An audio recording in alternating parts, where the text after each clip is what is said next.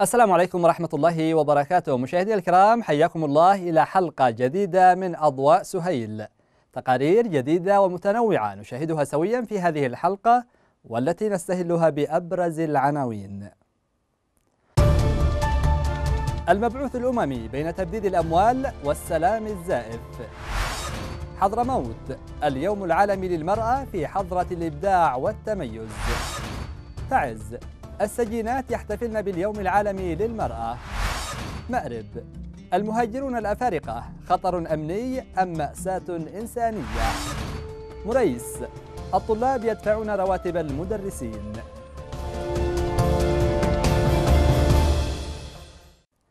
أهلا بكم. فساد أممي عابر لملايين الدولارات بحسب ما أظهرت وثائق مسربة. في مقابل تسويق الوسيط الدولي لوهم السلام الكاذب في اليمن. أكثر من 70 مليون دولار بددها مكتب المبعوث الأممي والبعثة الأممية بالحديدة خلال العام الماضي في ظل تجاوزات أو في ظل إنجازات صفرية للأمم المتحدة على صعيد تنفيذ الاتفاقات المبرمة. حدث الأسبوع يقترب من عبث الأمم المتحدة ومتاجرتها بأزمة وجوع وأوجاع اليمنيين وتحولها إلى منظمة للنهب والفساد والإثراء. نتابع.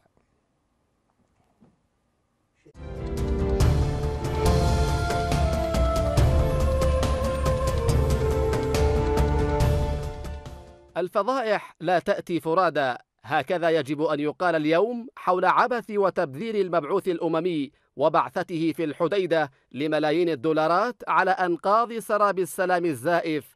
وملايين الجوعى والمشردين اليمنيين. وفق الوثائق المسربة فإن ميزانية المبعوث الأممي خلال العام الماضي 17 مليون دولار في حين أن ميزانية بعثة الحديدة بلغت 56 مليون دولار مقابل تحركات وجولات مكوكية أفضت إلى نتائج عدمية وسلام لا وجود له إلا في إحاطات المبعوث. وكثير من قلقه ودعواته المتكررة لخفض التصعيد. ثلاثة ملايين دولار مبلغ استئجار فندق لبعثة الحديدة خلال 2019 في حين بلغ إيجار السفينة الأممية الشهيرة نحو 800 ألف دولار شهريا إضافة إلى تجاوز صرفيات مكتب جريفيث المتعلقة بالطيران أكثر من مليون دولار سنويا. وهو ما يعكس توجها أمميا للفساد والعبث على هامش الحرب كمهمة أساسية بدلا عن مهمة المنظمة الأممية المعروفة. غول وتغول للفساد الأممي على حساب قضية شعب يتكبد الحرب والمجاعة والنزوح والتشرد. شعب يراقب بسخرية ويأس سراب تجار السلام والمتاجرين تحت لافتته. لصوصية منظمة تجسد معنى حاميها حراميها وتجلي حقيقة الدور الأممي ومراميه. تسابق الأمم المتحدة ومنظماتها الإنسانية الزمن في الفساد تحت لافتتي السلام وإغاثة الجوعى وهي لافتات تكشفت وبان عوارها مع ظهور تقارير فسادها. الأمر الذي يجعل من تحركاتها وأنشطتها مثار ريبة لدى معظم اليمنيين. الحقيقة دور الأمم المتحدة في اليمن دور سلبي. كله فساد وكله ترويج. لسلام كاذب ليس له أساس من الصحة. مندوب الامم المتحده يعبث بالمليارات من الدولارات يتاجر بمأساة اليمنيين بدماء اليمنيين بأرواح اليمنيين التي تسفك في كل ميدان. لا يوجد سلام وإنما يوجد عبث بمئات الملايين من الدولارات باسم السلام في اليمن. يتنقل من محافظة إلى محافظة لإيجاد فرصة أكبر للميليشيات وتمديد وتمددها في اليمن ولا يستجاد في إيجاد عملية سلام. بعثة الأمم المتحدة فقد رأينا أن المصروفات التي يعني نشرت أكثر من 18 مليون دولار وهذا يعني أنهم يريدون استمرار الحرب من أجل العبث بهذه الأموال. ولذلك كلما سمعنا عن سلام فهذا سلام السراب سراب سراب الوهم. كلما فتحوا باب للسلام يعني باب للحرب باب لاستثمار دماء الناس باب لنزيف الدم. وهكذا. وهذا إن دل على شيء فإنما يدل على أن الأمم المتحدة هي الداعمة للفساد وهي الداعمة للإرهاب وهي الداعمة للميليشيا. إذا كنا نريد أن نحقق السلام فينظر حالة المواطنين المآسي الموجودة يعني أشياء يشيب لها الرأس. الأمم المتحدة تأتي بشيء ثم تطرحه في تدمير الشعب نفسه. هم يقولوا يدعمونا هم بيخربونا هم بيقولوا يوقفونا للسلام وهم بيوسعوا أماكن الحرب وفواجاته. يعني يكذبوا علينا وقد رأينا ونسمع. يعني كلما يتضح لنا أمام الشعب كل الجبهات جبهة توقف وجبهات يتفتحن الشيء اللي هو بصالحهم يوقفوا ضده يوقفوا الحرب. الشيء اللي هم مستفيدين منه يمدوهم في الحروب ويدعموا يدعموا أمام الشعب وأمامنا كمواطنين. يقولون لنا هذا هو سلام. ليس هو سلام هذا هو حرب من الأمم المتحدة نفسها. آه، بالنسبة للأمم المتحدة آه، سواء عن طريق المبعوث أو عن طريق لجان السلام التي تنشر في اليمن هذه بالنسبة لها لا يوجد آه، سلام في أرشفة الأمم المتحدة بخصوص القضية اليمنية ولا يوجد حل سيصل إليه اليمنيون عن طريق الأمم المتحدة أو عن طريق مبعوثها. الأمم المتحدة تقبض على أو تمسك على ملف هو في صالحها اولا في مثل تسويق السلام عن طريق اكتساب أموال أو نهب أموال من اليمن أو باسم اليمن أو باسم قضايا اليمن أو قضية اليمن أو الأزمة اليمنية. كذلك تتخذ من ملف النازحين أو ملف اللاجئين آه، أيضا آه، قضية للاكتساب. الأمم المتحدة لا تريد سلام اليمن. عندما يريدوا الا نهبوا تجارة باليمنيين تجارة. وقضيه سلام قضية قضية سلام كذابين. يكذبوا على اليمين. ولا يريدوا إلا دعم الحوثي لتدمير اليمن الحوثي هذا السرطان الخبيث. تفاجأنا كثيرا تفاجأنا كثيرا للأمانة بالأموال والمبالغ التي تصرف آه، من البعثات الأممية مقابل آه، مقابل المبعوثين إلى اليمن سواء كان آه، ما خفي كان أعظم. الحقيقة التي وضحت لنا كشوفات سجلات موثوقة لل يعني نثريات جريفت يعني هذه الذي وضحت ما بالك بالتي هي آه، خافية للعيان. لكن آه، أظنها أظن الأمم المتحدة لا تسعى إلى وجود حل. طالما وهذا أصغر واحد يمثل الأمم المتحدة يعتبر العضو الصغير أو الخلية الصغيرة داخل جسم أو عضو الأمم المتحدة يبذر هذه الملايين أو ملايين الدولارات ما بالك بالامم المتحدة. فأنا أعتقد لا لا تسعى إلى السلام. قالها آه، اللواء سلطان العرادة نحن لسنا مع السلام الكاذب وفعلا أنا أقول لك بالحقيقة السلام سلام كاذب. طالما والقضية قضية فيها مشروع استثمار فلا أعتقد أن يكون هناك سلام. فلا أعتقد أن يكون هناك سلام على أرض الواقع لأنه طالما فيها ملايين ملايين آه، فندقية سفرات بدلات يعني الموضوع موضوع استثمار لا أقل ولا أكثر. برائحة البخور والعطور والإبداع الحرفي المطرز بالجمال احتفت المرأة الحضرمية بيومها العالمي في أول معرض لتسويق منتجات التشغيل الذاتي في مدينة سيئون. المعرض نظمته إدارة المرأة والطفل والمرأة العاملة بمكتب وزارة الشؤون الاجتماعية والعمل بالوادي والصحراء بالتزامن مع اليوم العالمي للمرأة. الزميل فهمي بارمادة يسلط الضوء على هذا الاحتفال والاحتفاء باليوم العالمي للمرأة. منتجات متنوعة من المشغولات اليدوية والأعمال الحرفية تعكس مهارة المرأة الحضرمية في المعرض الأول للتشغيل الذاتي للسيدات الذي تنظمه إدارة المرأة والطفل والمرأة العاملة بمكتب وزارة الشؤون الاجتماعية والعمل بوادي حضرموت. ترويج منتجات المرأة وتشجيعها على الأعمال الذاتية لتمكينها اقتصاديا هو ما يهدف إليه هذا المعرض النسوي الأول في حضرموت آه، الغرض من المعرض هو إبراز منتجات المرأة آه، سواء كانت ريفية في الحضر آه، في البدو سواء كانت في الأعمال اليدوية أو في المشاريع الصغيرة أو في التدبير المنزلي. طبعا هذا المعرض يعد الأول من نوعه بالنسبة كمكتب حكومي لوزارة الشؤون الاجتماعية والعمل الذي يقيمه المكتب. 55 امرأة وفتاة مشاركة في هذا المعرض من مختلف مديريات وادي حضرموت. يستقبلن يومهن العالمي بمنتوجات إبداعية متنوعة في الخياطة والتطريز والتدبير المنزلي وصناعة العطور والبخور وهدايا المناسبات. وهو ما يعكس مهارات المرأة اليمنية في عدد من الحرف التقليدية والصناعات المنزلية. حبيت يعني انتج يعني منتجات خاصة باسم الصالون حقي أعشاب طبيعية ومضمونة ويعني أول أجرب فعاليتها على أهلي على بناتي في البيت بعدين نقوم بترويجها.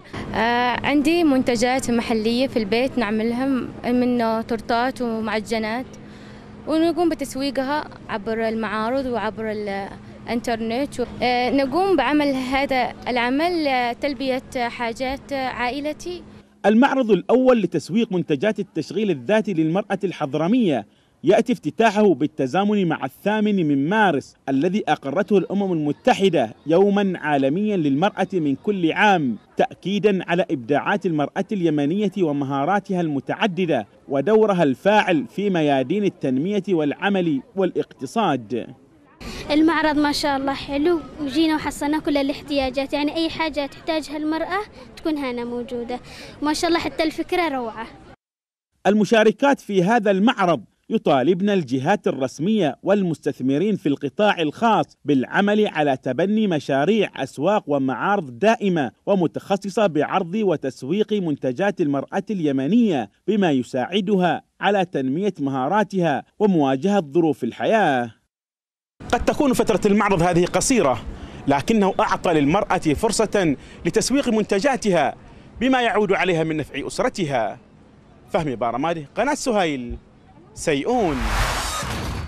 ومن سيئون إلى تعز حيث احتفلت على طريقتها الخاصة باليوم العالمي للمرأة خلف قضبان سجن النساء في مبادرة إنسانية وزيارة خاصة بالمناسبة نفذتها مؤسسة معكم التنموية والمركز الإنساني للحقوق والتنمية لقسم النساء بالإصلاحية المركزية. أجواء من هذا المشهد الإنساني ووضع السجينات المنسيات يرصدها تقرير الزميلة زبيد الوجيه من بين ثنايا القضبان. نتابع. تحتفل مدينة تعز باليوم العالمي للمرأة على طريقتها الخاصة فضمن مشاريعها الإنسانية. قامت مؤسسة معكم التنموية والمركز الإنساني للحقوق والتنمية. بزيارة خاصة للسجينات لتقديم الدعم النفسي لهن وتغطية بعض من احتياجاتهن قمنا اليوم فيها 8 مارس بزيارة آه، الفئات الأكثر ضعفا في المجتمع وهن السجينات. هذه الزيارة تأتي آه، تخفيفا لما يعاني لما تعاني هذه السجينة من مشاكل وآلام آه، أقهرتها وأدخلتها إلى السجن. تعتبر السجينات الشريحة الأضعف في المجتمع ونادرا ما يتم تذكرهن والالتفاف لاحتياجاتهن خاصة في ظل ظروف الحرب والوضع المعيشي الصعب الذي يعانيه غالبية اليمنيين. نحن في المركز الإنساني للحقوق والتنمية نهتم بقضايا الطفل والمرأة والفئات الأشد ضعفا فئة المعنفات من النساء. نعمل في المركز مستقبلا بإذن الله. على رفع هذه القضايا الجهات المعنية آه، سنعمل على آه، المساهمة في حل كثير من هذه المشاكل. قدمت مؤسسة معكم التنموية كسوة للسجينات وتمورا وبعضا من الاحتياجات الضرورية إلى جانب تقديم الدعم النفسي والمعنوي من خلال مرشدة نفسية متخصصة. نرد منهم يعني تزويد الشكل بالفروشات والبطانيات. آه، للبنات للنزيلات الموجودة في السجن يحتاجن عدة حاجات مثل الملابس الداخلية والخارجية من حيث الوجبات الغذائية الجبن والطاحونية. آه، كادر طبي نريد. علاجات. احتياجات كثيرة ما زالت تفتقر إليها السجينات خاصة كونهن فئة منسية خلف القضبان.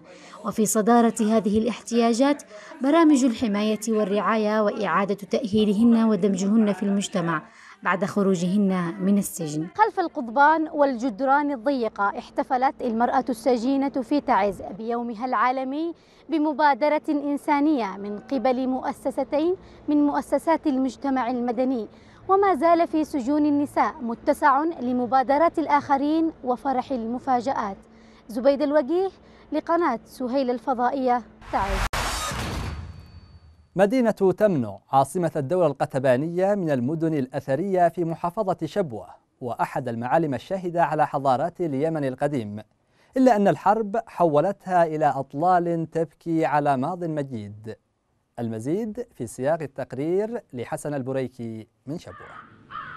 هي الحرب ما تذر من شيء أتت عليه إلا جعلته كالرميم فمدينة تمنع عاصمة الدولة الكتبانية قديما في محافظة شبوة أصبحت أثرا بعد عين.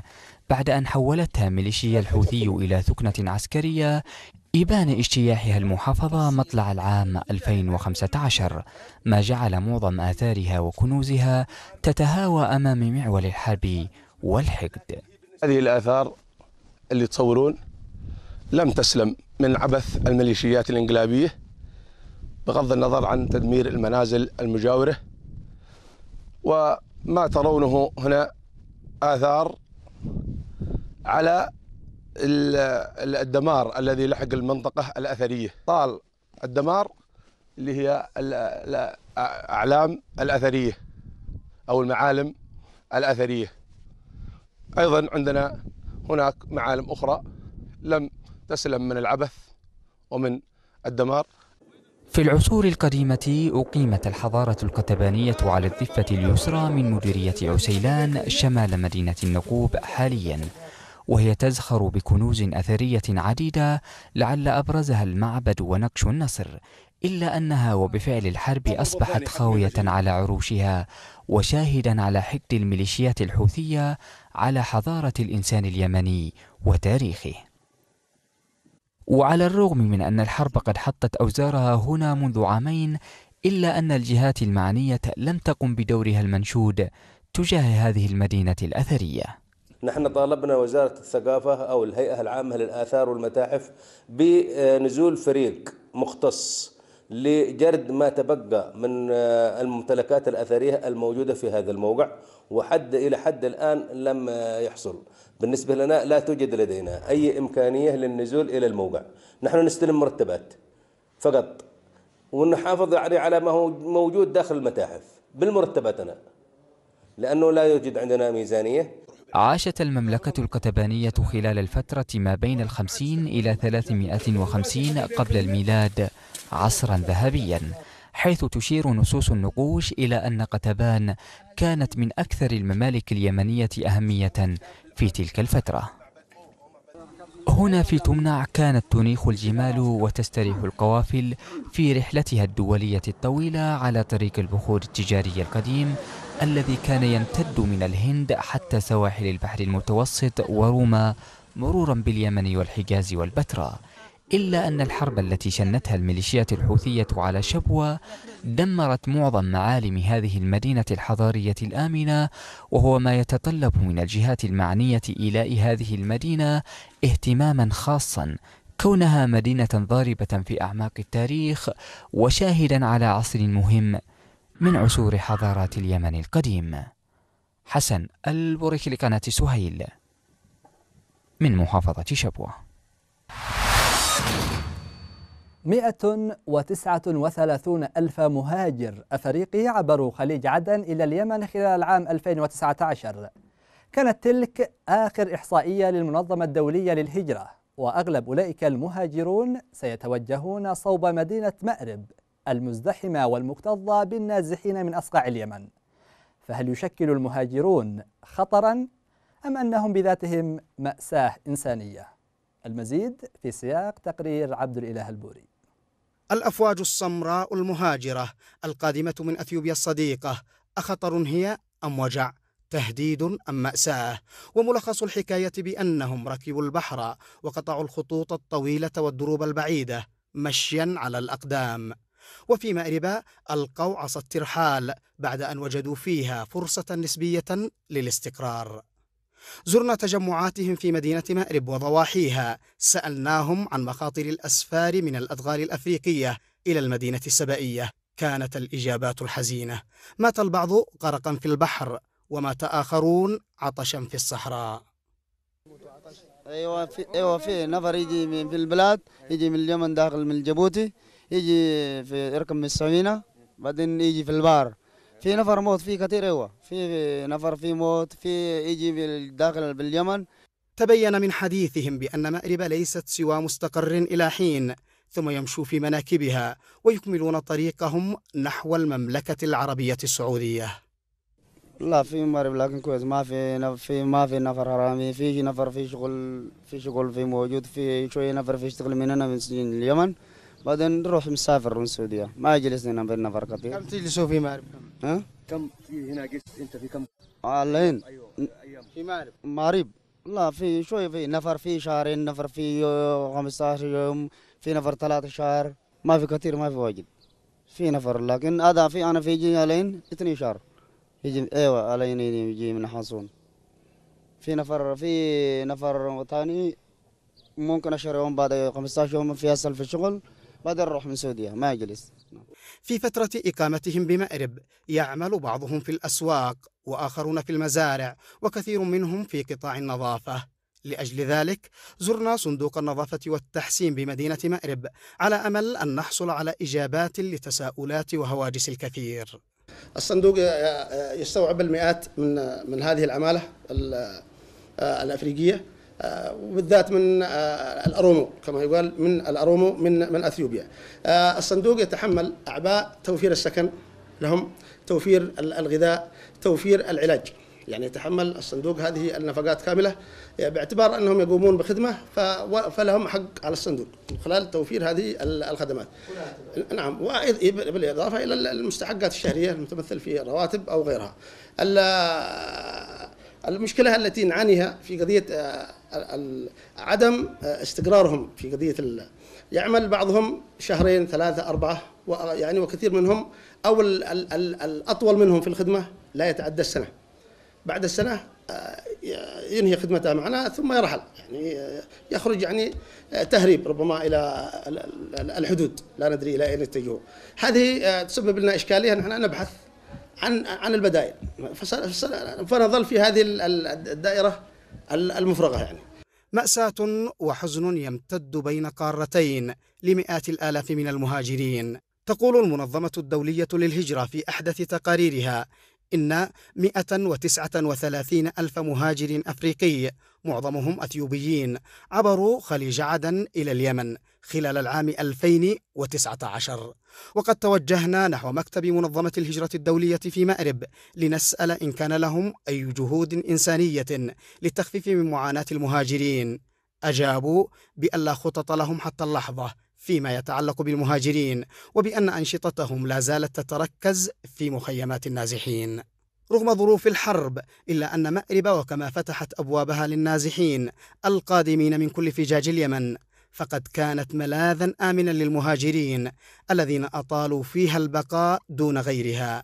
لا لشيء إلا رغبة بخيرها وبأمنها واستقرارها. عبد الإله البوري سهيل. في مخيم الجفينة الذي يعد أكبر مخيمات النزوح على مستوى اليمن تطغى كرفانات الزنك البيضاء وبيوت الطين وخيام الطرابيل على المكان. غير أن ثمة بيوتا من البلوك تشاد هنا وهناك على رمال المخيم ووسط هذه الرمال نازحون يشكون من منعهم من إدخال البلوك لبناء مساكن تقيهم الحر والبرد. فيما يسمح لآخرين بإدخال أحجار البلوك والبناء. أضواء سهيل ينقل شكاوى النازحين إلى الجهات المعنية في السلطة المحلية بمأرب. نتابع فقرة وصل صوتك.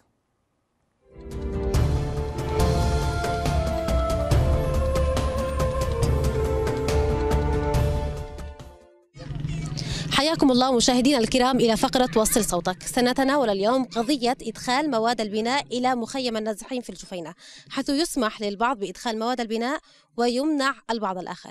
تابعونا والله أحيانا يسمحوا لنا والبعض والأحيان الآخر ما ما يسمحوش. نهائيا. عدمهم لما دخلنا. لا طي ما حاولنا ما رضيوا. نظام على الكل ماشي يعني وساطات وذا. وأثبت لك إن عندنا ناس خمس بيوت دخلوا بزلط. يعني من على البلوكة على الديانة ثلاثين ألف. ما خلوناش ندخل بلوك مرنا لب. لا بالنسبة لمواد البناء أحيانا أوقات كانوا يسمحوا بإدخال الطين التراب وكذا إلا أنه البعض في الآونة الأخيرة سمحوا للبعض بإدخال بلوك. منعونا أن ندخل بلوك بالرغم أن في بيوت في بهن بلوك بس منعونا ما رضوا إلا في التراب إلا ممنوعة البلوك.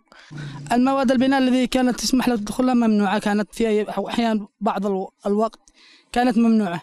وأحيانا يسمحوا فترة سمحوا فترة محددة للكل. لا يمكن ما. أنهم يأخذوا مبالغ مالية ما يأخذوش نهائيا. والجرحى والمعاقين كانوا يسمحوا لهم بدخول المواد.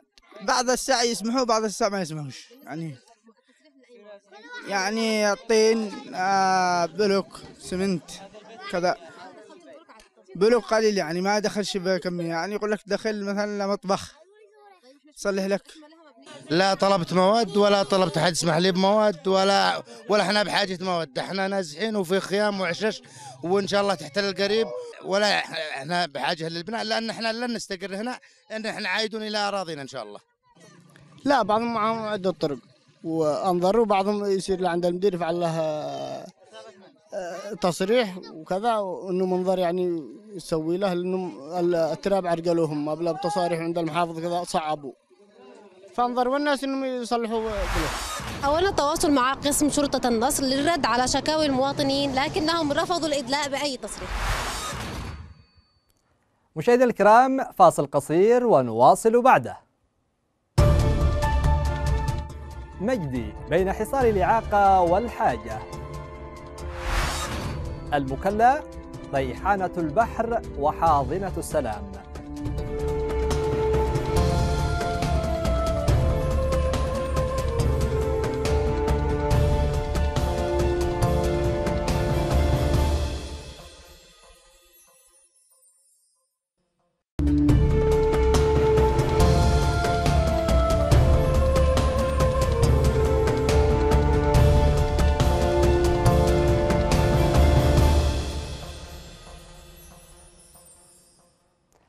أهلا بكم من جديد. لا يبدو الوضع التعليمي جيدا في محافظة الضالع. فمدرسة الشهيدين في مريس تعكس وضعا صعبا يعيشه التعليم في النطاق الإداري للحكومة الشرعية حيث يتكفل التلاميذ والطلاب بدفع الرواتب الشهرية لمعلميهم الذين يعملون بالتعاقد. في ظل نقص الكادر التعليمي من الموظفين رسميا في وزارة التربية والتعليم. تقرير الزميل فوزي المريسي يبحث في تفاصيل هذه القضية في مدارس مريس نتابع يغادر عام دراسي ويأتي آخر وحال التعليم في بلادنا في تدن مستمر ووضع لا يحسد عليه. يعني الحكومة تقف عاجزة تماما عن توظيف المدرسين بينما تقوم بتوظيف عشرات الآلاف من الجنود في ساحات المعارك وبلا شك صحيح أن الدول تبتني وتبنى بالجيش وبالمعلمين إلا أنهم أهملوا التعليم تماما كثيرة هي مشاكل العملية التعليمية بمحافظة الضالع ولعل واحدة من هذه المشاكل أن معلمين كثر يتقاضون مرتباتهم على نفقة الأهالي. نعاني من أشياء كبيرة أو عوائق كبيرة في مس... في العملية التعليمية ومن هذه العوائق أنه العجز. الكبير في آه، الكادر التعليمي.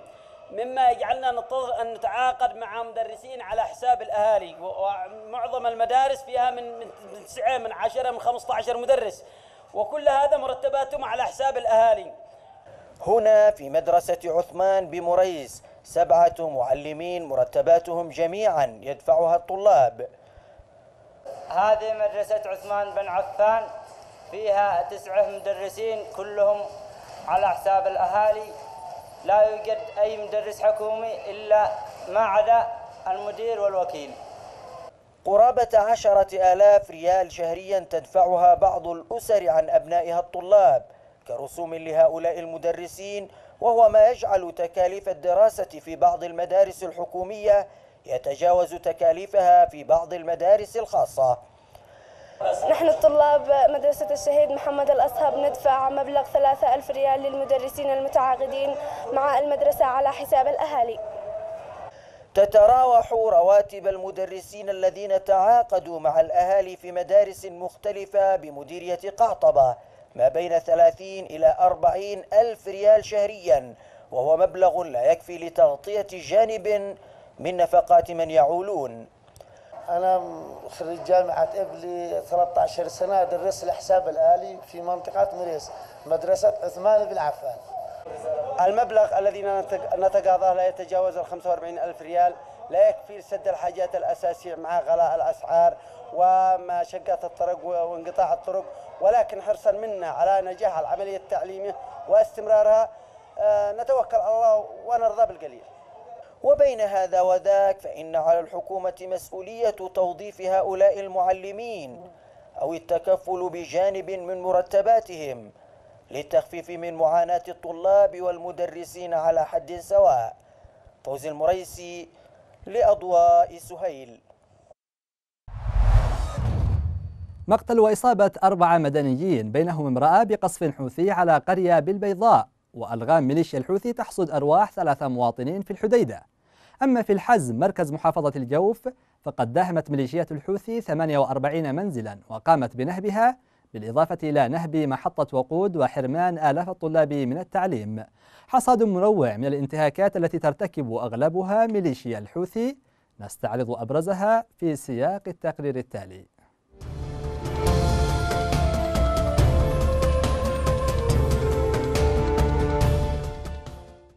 نفذت ميليشيات الحوثي الانقلابية حملة مداهمات ونهب لمنازل عدد من البرلمانيين في العاصمة صنعاء.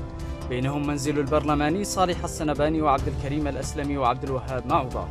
كما طالبت من الأهالي مغادرتها تمهيدا لمصادرتها. إلى ذلك قاتل مسلحون حوثيون مواطنا بطريقة وحشية داخل مسجد في مديرية مناخة بمحافظة صنعاء. كما تعرضت عوائل أكاديميي جامعة صنعاء لتهديدات حوثية بالطرد من منازلهم. وفي سياق آخر داهمت ميليشيات الحوثي عددا من المحال التجارية في عدة شوارع وأسواق بالعاصمة صنعاء أبرزها التحرير والحصبة والسنينة وهائل والرقاص وباب اليمن. وألزمتهم بدفع مبالغ تبدأ بثلاثة آلاف ريال وحتى خمسين ألف ريال. إلى الجوف حيث داهمت ميليشيات الحوثي في مدينة الحزم 48 منزلا وقامت بنهبها. كما نهبت مخازن للأدوية وأحرقت سكنا طبيا ومحطة للمشتقات النفطية وتسببت بحرمان آلاف الطلاب من التعليم. أما في ذمار فقد ألزمت ميليشيات الحوثي مشايخ ووجهات عتمة بحضور دورات طائفية بالقوة. كما نفذت حملة لجمع إتاوات من أهالي ذمار واعتدت على مسن بالضرب المبرح إلى ذلك اقتحمت ميليشيات الحوثي مركزا سلفيا وسط مدينة ذمار وقامت بطرد طلابه ونهبه وإغلاقه بالقوة. أما في الضالع فقد أصيب طفل بجروح خطيرة إثر قصف حوثي استهدف قرى المدنيين في منطقة حجر. إلى ذلك داهمت ميليشيات الحوثي مقرا لإحدى المنظمات في دمت وقامت بنهبها واختطاف موظفيها. وفي الحديدة قتل ثلاثة مواطنين بانفجار ألغام من مخلفات ميليشيات الحوثي في الدريهم جنوب المحافظة. كما قتل شاب على يد مشرف حوثي بينما قتلت امرأة حامل برصاص قناص الحوثي في مديرية حيس. وفي سياق آخر منعت ميليشيات الحوثي فريقا أمميا من الدخول إلى مدينة الدريهمي وفي الحسينية اقتحمت ميليشيات الحوثي منزل مواطن وقامت باختطاف أحد أبنائه. إلى العاصمة المؤقتة عدن حيث قتل مدني وأصيب خمسة آخرون برصاص مسلحي الانتقال في حوادث متفرقة بالمدينة. أما في إب فقد قتل خمسة مواطنين وأصيب اثنان بحوادث متفرقة وسط فوضى أمنية تشهدها المحافظة. كما اقتحمت ميليشيات الحوثي منزل مواطن بمديرية يريم وقامت بنهبه والعبث بمحتوياته. وفي البيضاء قتل وأصيب أربعة مدنيين بينهم امرأة بقصف لميليشيات الحوثي على قرية شرياف بمديرية القريشية. في سياق آخر قالت منظمة رايت سرادر لحقوق الإنسان إنها وثقت أكثر من 16 ألف انتهاك ضد النساء في اليمن منذ بدء الحرب ارتكبت غالبيتها ميليشيات الحوثي. إلى ذلك كشفت رابطة أمهات المختطفين في تقرير لها أنها وثقت وجود 244 سجنا ومكان احتجاز تابعة لميليشيات الحوثي الانقلابية في مناطق سيطرتها.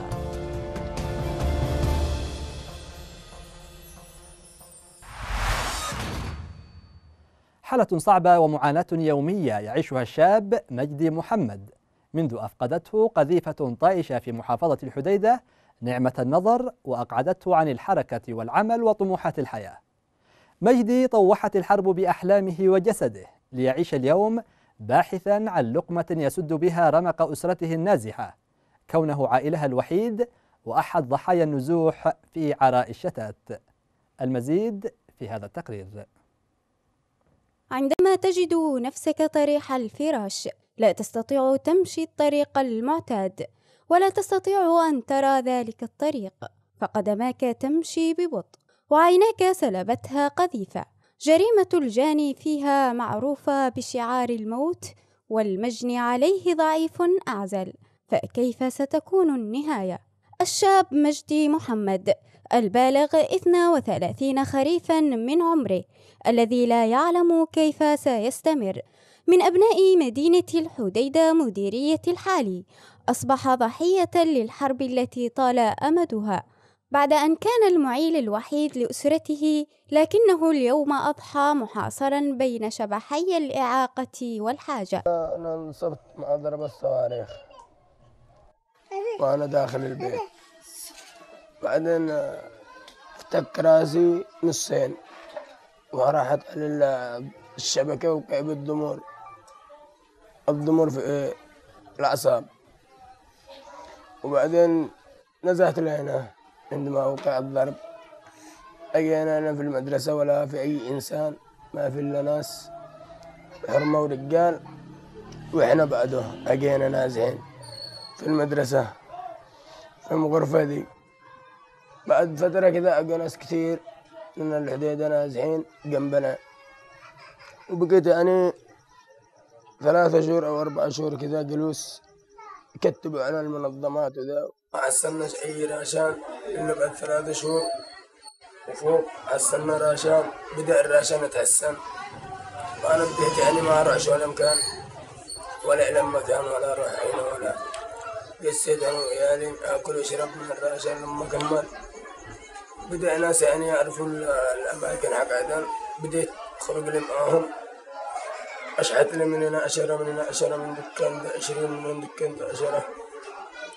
سلت ابني معي كنت أروح واجي أروح واجي أروح واجي أنا وابني عندما تفقد مأواك وتفتقد قواك يكون النزوح والفقر مسيطران على حياتك وهذا ما فعله مجدي وأصبح أحد النازحين في مخيم عمار بن ياسر بمديرية دار سعد بالعاصمة عدن. يشارك جميع أسرته النوم في غرفة واحدة.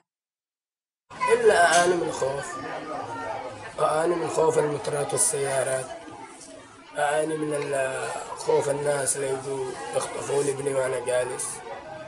أعاني من خوف الرصاص عندما يوقع اشتباكات. أعاني من جميع أعاني من حاجات كثيرة. وأنا يعني إنسان ممل له. يبي كانوا يردني تسول في الشارع ومعاناة في العيش علاوة على ما يعانيه في المجتمع من صد واحتقار. فيما هو ضحية حرب لم يكن يوما طرفا فيها. مجدي ما عاد يميز بين ليله ونهاره. إلا حينما يشعر بحرارة الشمس ظهرا هكذا أصبح مجدي. من كاسب للقمة عيش أسرته إلى متسول على أرصفة الشوارع مع أطفاله الذين ما زالوا تحت سن العاشرة. أفرزت أرامل أفرزت احتياجات كثيرة أفرزت ذو الاحتياجات الخاصة أفرزت معاقين أفرزت يعني ناس يعني حتى رجال أعمال صعبوا لممارسة حياتهم. فكثير من الاحتياجات أصبحت الآن مختلفة. ولهذا نحن يجب أن يكون الشراكة الحقيقية مع اللجنة والإغاثة والمنظمات والتنسيق. هذا بيخفف كثير من المواطن وكذلك المتابعة والمراقبة والتقييم العملي. مجدي وغيره الكثير ممن أصبحوا ضحايا حرب يعيشون حياتهم هكذا بالنص المقروء والصورة المبثوثة. وهم يطالبون بصوت واحد بإيقاف حرب يدفع الأبرياء ثمن صراعاتها. أمة الرحمن العفوري لقناة سهيل الفضائية عدن. تعد مدينة المكلا عاصمة محافظة حضرموت من الوجهات السياحية في البلاد حيث تتمتع بجمالها الفريد وأسواقها الشعبية وكذلك الأمن والاستقرار. إضافة إلى حسن تعامل أبنائها مع الزوار والوافدين إليها. المزيد في التقرير التالي. المكلا ريحانة البحر وحاضنة السلام. يأمها الزوار من كل مكان.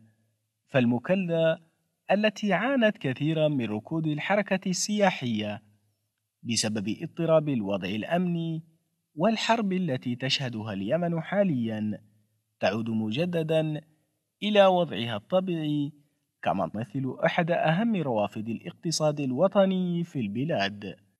عانت محافظة حضرموت من ويلات الحرب والانقلاب الذي وقع في العاصمة صنعاء من قبل جماعة الحوثي آه، وقطاع السياحة من القطاعات المنكوبة التي آه، تدهورت وتقلصت خدماتها وأعمالها خلال الفترة الماضية. ولكن الحمد لله بعد دحر آه، الإرهابية من محافظة حضرموت وتحديدا الساحل بدأت تستعيد عافيتها شيئا فشيئا ومن خلال الدعم الذي تلقته من الحكومة الشرعية بإعطائها بعض الصلاحيات ثم عودة آه، أبناء المحافظات إلى حضرموت وللتمتع بالسواحل الخلابة تمام والتمتع بالأمن والأمان التي تحظه محافظة حضرموت وهذا الشيء لم يأتي عبثا وإنما من خلال آه، دعم التحالف العربي بقيادة المملكة العربية السعودية ودولة الإمارات العربية المتحدة وكذلك آه، وزارة السياحة.